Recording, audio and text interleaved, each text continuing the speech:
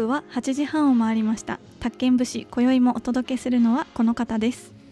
こんばんは。店長です。はいはいよろしくお願いします。やっぱり一応この始まり方なんですよそうですね。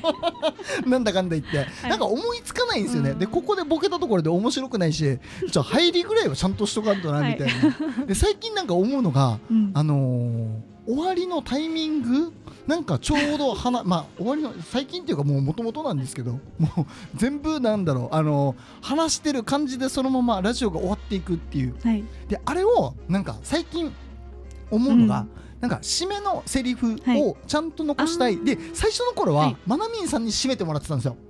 そうそスタートもマナりましたね。ミンさんで最後の締めもやってもらってたんですけど、うん。いつの間にか、会話のこの途切れが悪くてそのまま終わってでそれで終了してるんですけどなんかやっぱりちゃんと締めっていうかうーん。なんかあった方がいいんですかね、うん、さようならぐらいは言った方がいいのかなって思って、はい。うん。それをちょっと道中で考えてたんですけど、うん。なんかいいの思いつかんし、うん。まあ、いっかっていう結局その結論なんですけどね。はい、えっとですね、えっとまず、えっと、先週のはい。続きをする前に、はい。えっとちょっとまあ1週間、なんか最近思うのが、うん。ラジオでネタないなって思ってて、うん。でよく、えっと、ちょっと前ぐらいに「オールナイトニッポン」のオードリーの番組、はい。オードリーさんの番組を聞いてて思ったのが、1週間で1週間毎週土曜なんですけど、うん。この2人が1週間あった出来事を持ち寄ってうん。で、えっと、トーク時間が決められてるんですけど、はい。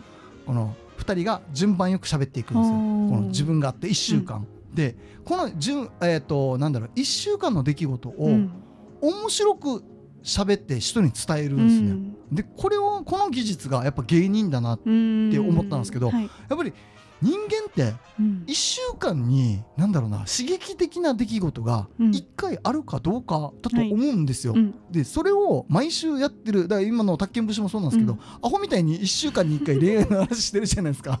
でこの恋愛の話も1週間にあった出来事じゃなくて、なんか過去の出来事とかなんかパッてなんだろうなうーんとテレビとかなんかそういうツイッターとかちょっとした情報のヒントからなんか過去の経験談を引っ張り出してきてそれをなんかトークテーマに変えて喋ってるっていうのがなんか今自分のスタンスなんですよ。はい。本当はこうなんだろうオードリーさんみたいにうん。1週間に1回このラジオで話せるようなうん。ネタ探しはしないといけないなって 思うんですけどはい。できないですよね。ありますマネさん。1週間に一1回週間のネタ探し。ああ人に伝えたくなるような楽しい出来事って1週間に1回？あります？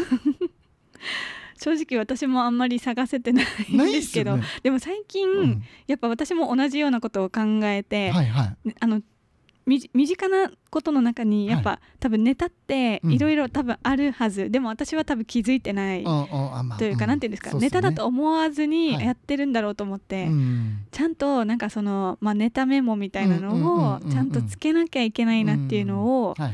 感じてます。自分はネタメモはいいなって思ったのは、うん。はい。すぐ携帯のあのメモ帳があるじゃないですか。あ,、はい、れに、書いてます、うん、あ。あのキーワードだけ、うん。でたまにこのキーワードだけすぎて。うん、あ分か分 からなくなるんですよ。あれ待ってこのキーワードって何だったんだろう？うん。みたいな、何を喋りたいからなんかこのキーワードだけ書いたんだろうってあるんですけどはい。一応メモるようにはしてるんですよ、でもそれでもメモることがないみたいな感じですか、うんもうメモることがないんですよ。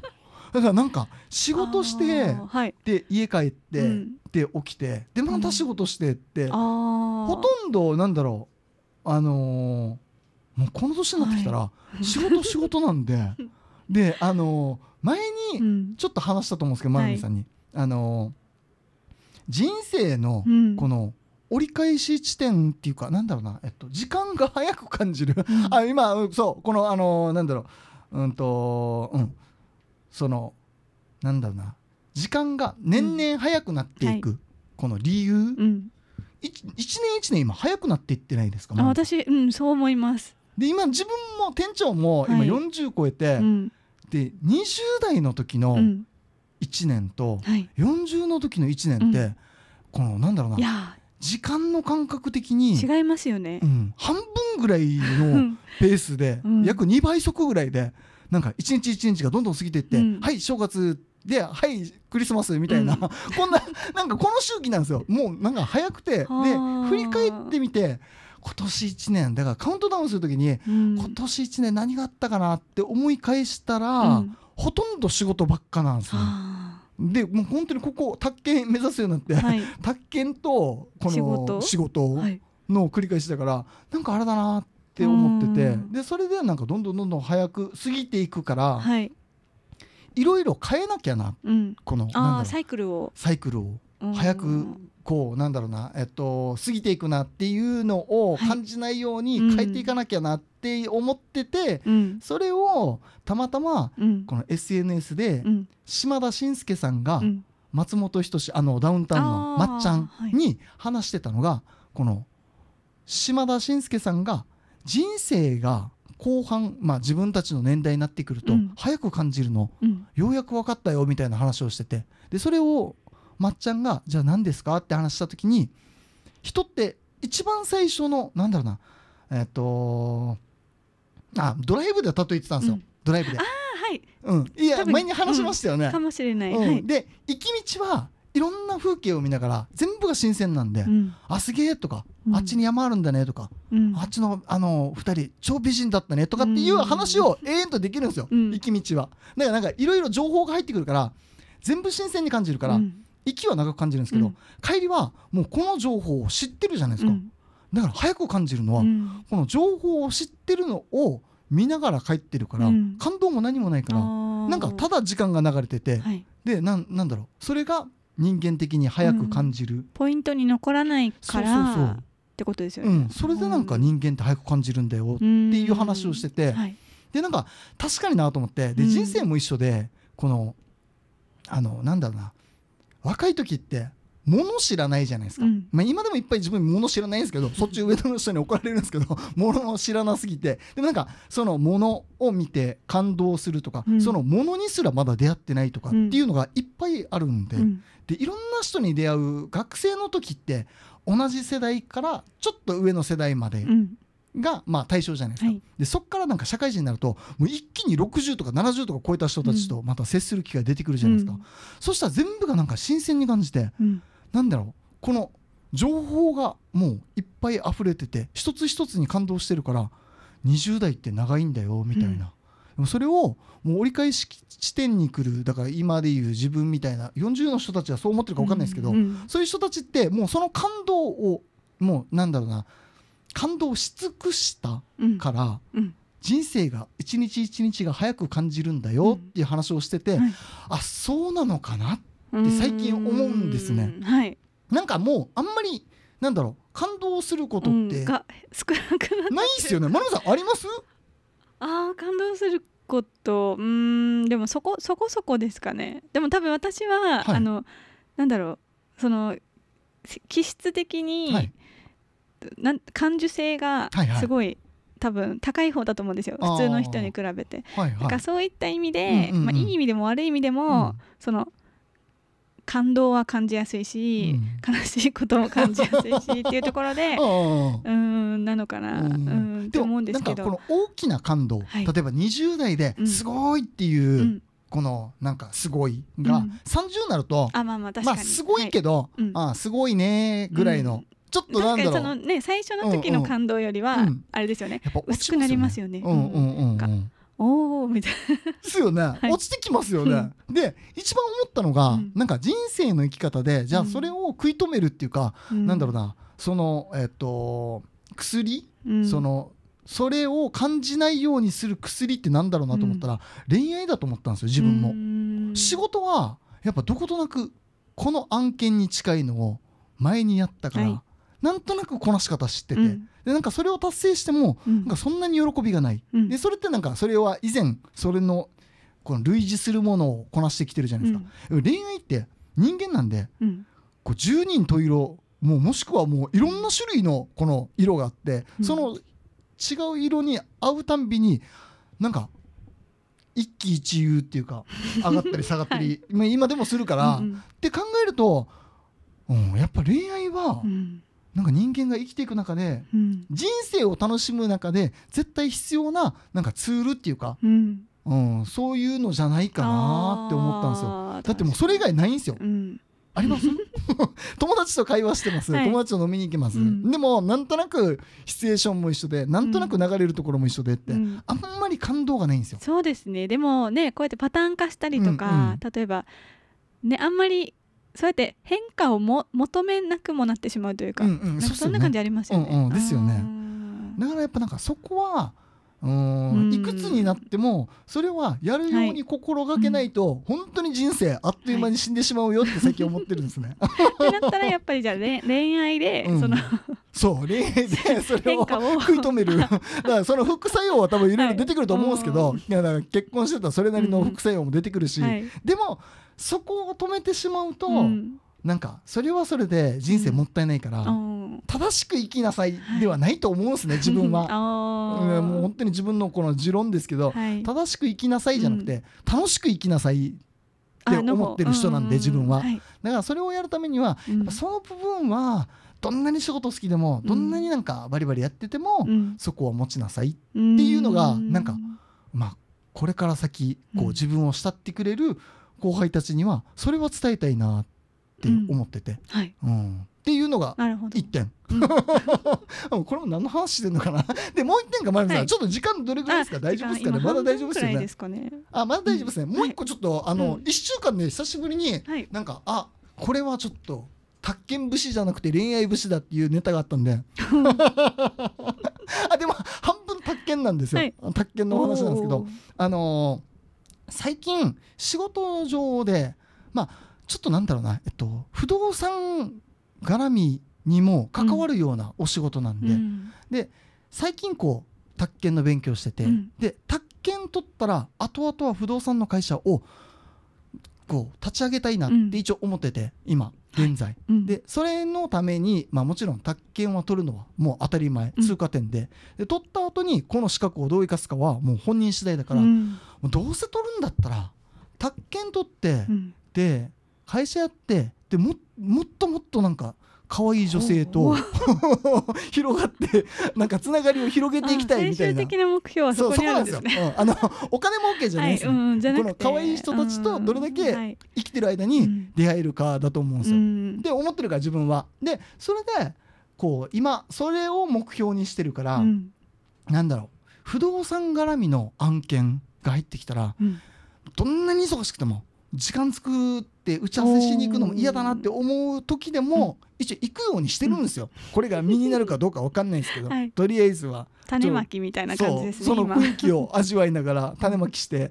で最近だからそういうのがあって、まあ、うん今ちょっと落ち着き始めたんで、うん。あいいかなと思って。でそのえっ、とこうその案件が来て、うん。でたまたま女性で、うん。でもなんか話してる感じはうーんまあおばさんって言ったら失礼ですけど、うん。まあでもちょっと自分よりか上だなみたいな雰囲気な会話の仕方で。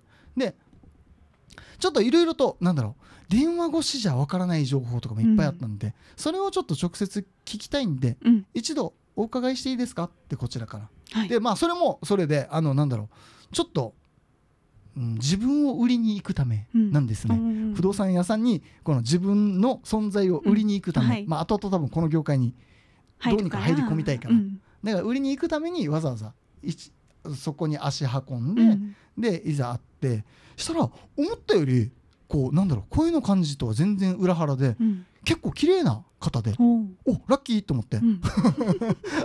で一石二鳥だなって思ったんですよ、うん。でそれでなんかちょっと中に入って会話しててもうやっぱなんだろうなあのーここで思ったのがうんまあ起業してるからもちろん経営者なんで、うん。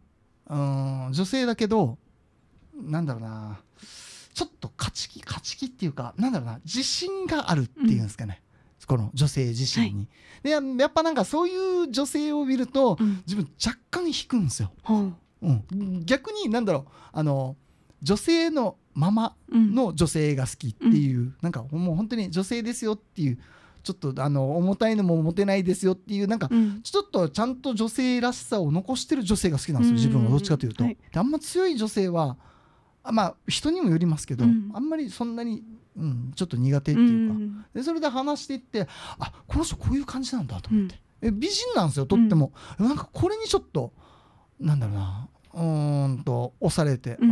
なんかやっぱでも違うのかなって思ってて、はい。で徐々に徐々に会話していくとだんだんなんかこの雰囲気が崩れてくるんですね、うん。なんだろう。ちょっとちょっと上上から 上からっていう表現もおかしいんですけど なんか上から口調に近いような、あうん、ー。若干こっちを下に見てるような、うんうんまあでもそれでも全然いいんですよ、はい。あの綺麗なんで。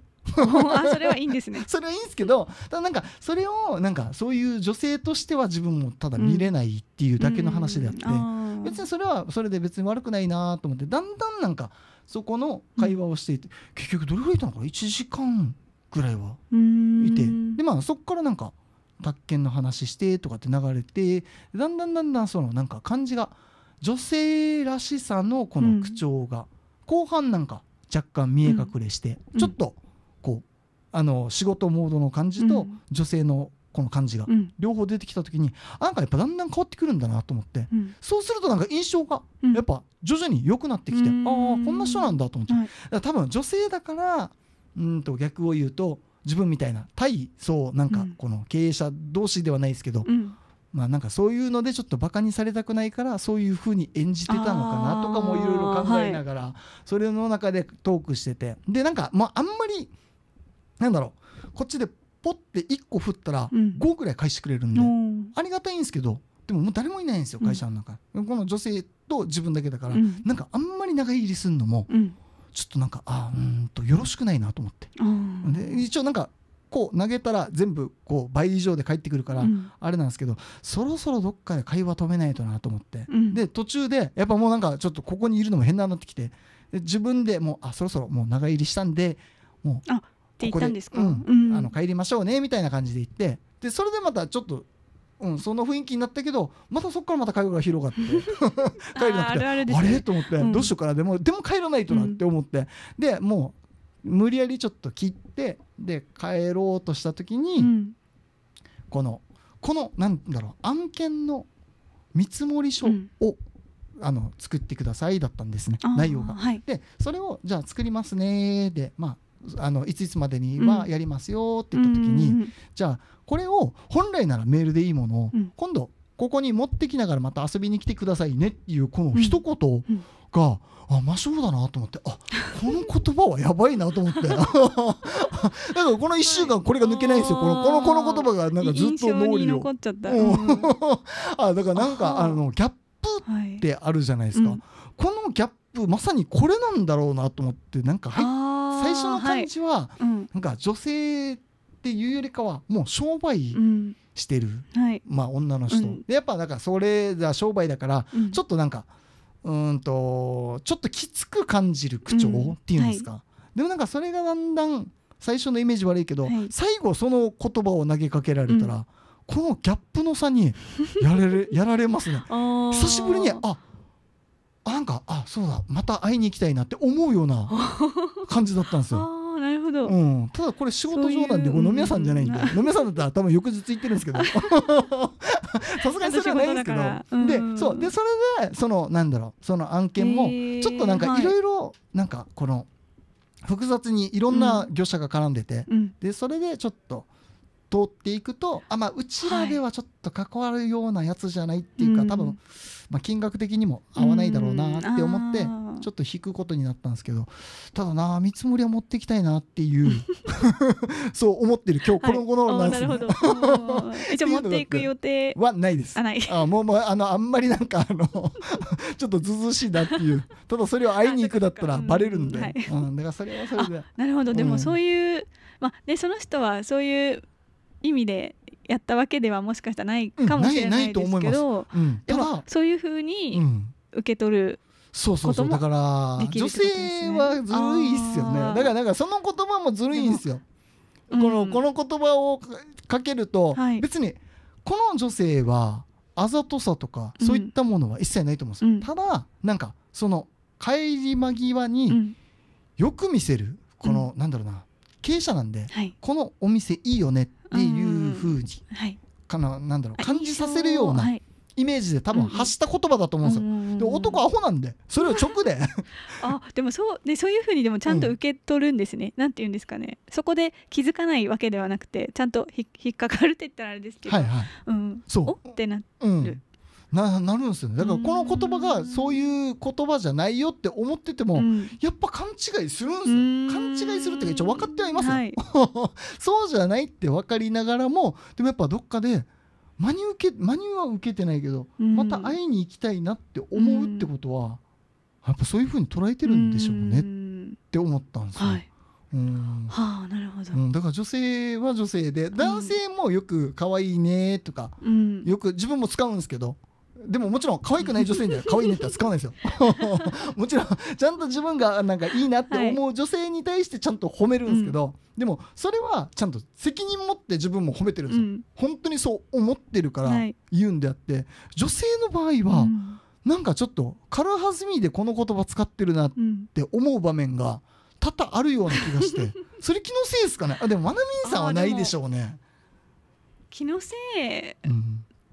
なんかでも逆に逆にっていうか中にはやっぱそうやってなんかそのああざとさをうんうんうんうん。出す、この意識的にうん。そういう言葉を使って出す人もいると思うんですけど、はいはい。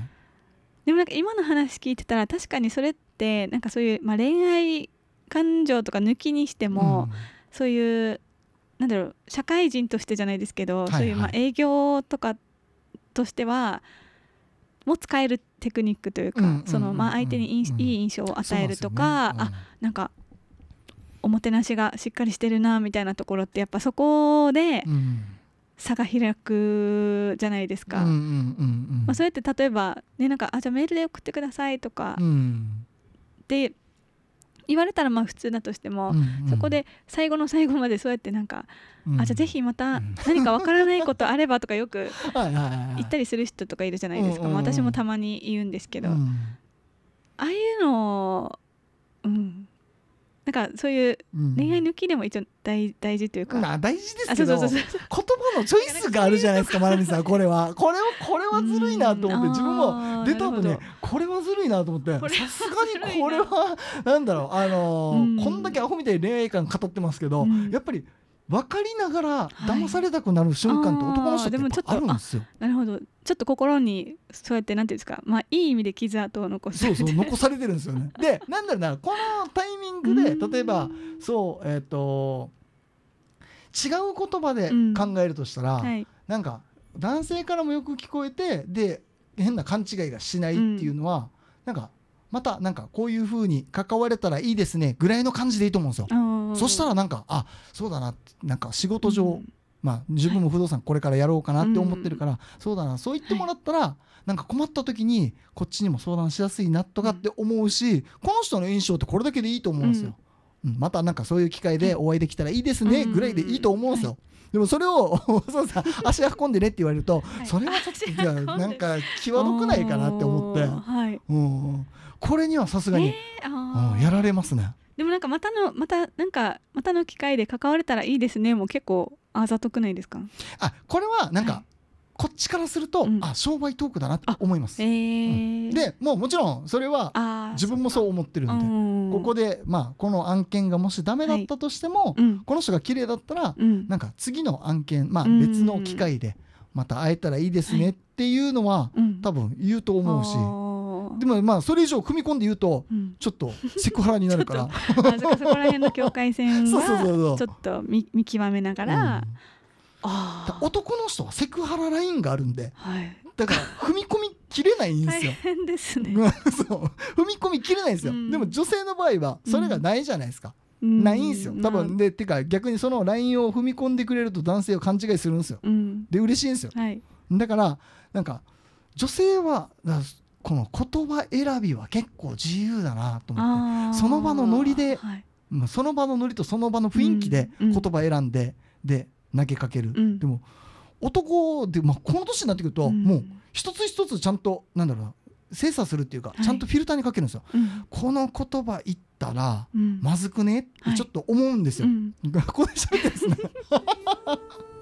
そう。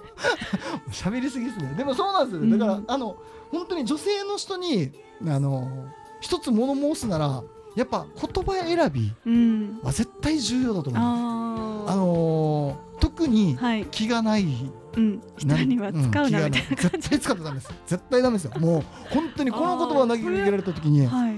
本当に騙されたいなって思ったんですよ。うんうんうんでこの1週間ずーっとこれが消えないですからね、うんうんうん。っていうぐらいあれなんでこの1週間だから邪魔なんですよ。これずっと消えてないから。もうどんなやって消そうかなみたいな。でも会う機会もなくなったからはい。どんなやって消そうかなって思うんですけど、これを消すのもめんどくさいからやっぱ。うん。そこになんか怒りは覚えるんですか？なんかそういうあ。あ綺麗な意味ああの印象のまま綺でうん。だからなんだろうあのうん。連絡して連絡がつかなくてそのままなんかそれがなくなったら、うん。なんか変な印象ですけど、うん。これはもう回り回ってこっちが合わないなって思ったやつなので、この方には全然あれがないじゃないですか、あーあそこはじゃあちゃんとそうやって。うん、そこをちゃんと整理するんですよ。ちゃんと整理してこの人には何も罪がない、はで自分のただのなんだろう一人の思い込みなんで、うん。はいさようならですね